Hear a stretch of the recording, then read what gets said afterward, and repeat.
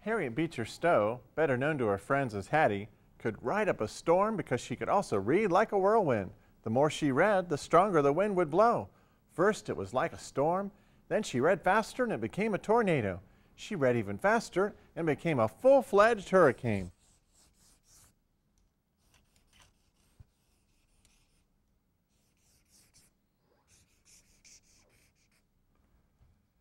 Reading was always a big part of her life, even when she was very busy with half a dozen children to raise. Her husband, having to travel long distances for work, could not help Hattie at home.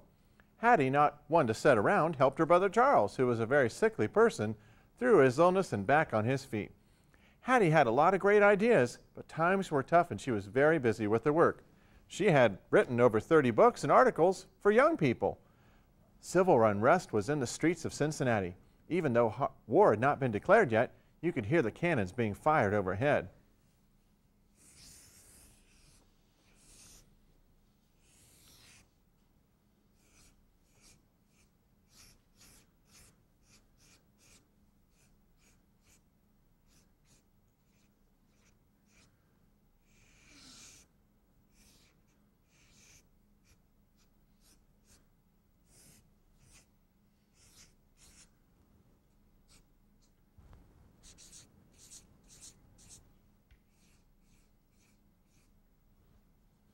Good citizens in Cincinnati, like many other places in the U.S., were trying to help escaped slaves find their way to freedom.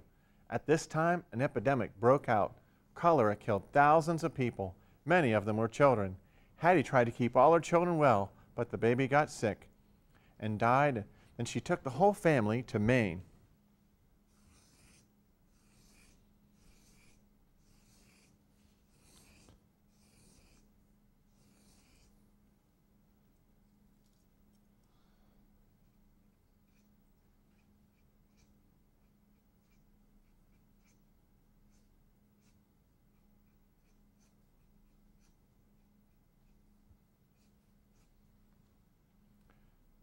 Hattie started writing again. She kept her ideas and information, feelings and notions under her hat and until they grew too large to fit there. She came up with a story to write that helped change the whole history of America. Her book changed people's views and got them to thinking.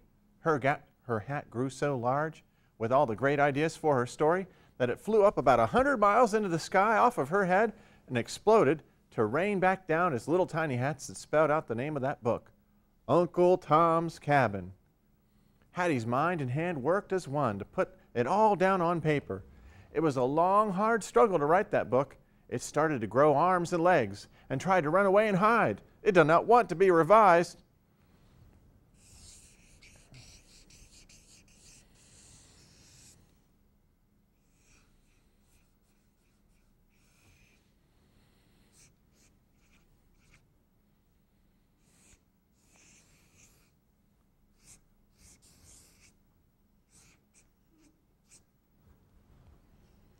Harriet Beecher Stowe once met Abe Lincoln before he became president. It was a long trip for Abe Lincoln. Relatives needed some help, and he agreed to travel to Ohio. There he met Harriet Beecher Stowe. She was chasing after that large book she had been writing all the way from Maine. The book was running away just like a spoiled child. Come back here, you, you piece of runaway literature, Hattie said, and Abe almost laughed to himself at her frustration and the sheer whimsy of it all but he was also too shocked to say anything. My good sir, don't just stand there gaping. Help me catch this creature, Hattie said. Madam, what is it that we are chasing and why is it running? asked Abe Lincoln. It's my book I wrote. I'm trying to wrestle with it to get it rearranged for the publisher to print.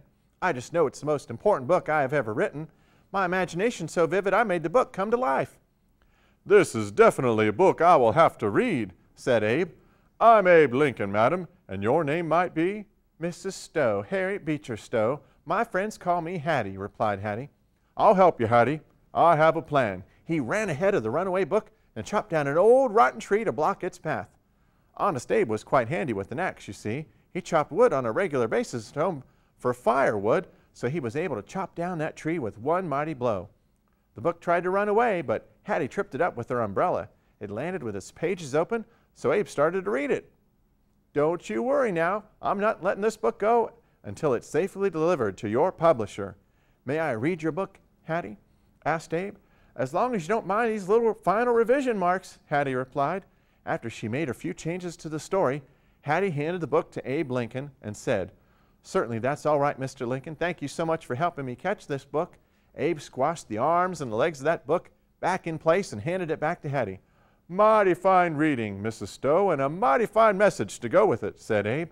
Abe never forgot Hattie and her book or its important message against slavery. No matter where you see injustice, you should always stand for what is right. The book started acting up again, and Hattie had to tie a rope around it before she could take it to the publisher. Uncle Tom's Cabin was finally published and sold all over America. Everyone wanted to read it. Her characters came to life in the readers' hearts and minds to lead them into the truth that slavery was wrong. No one should ever own another person or should anyone be viewed as less because they're different.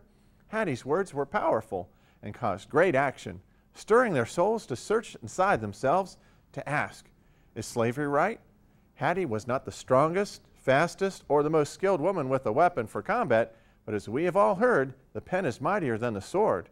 Her heart and soul gave her a great strength to write powerful words that stirred a nation into action and help free the slaves.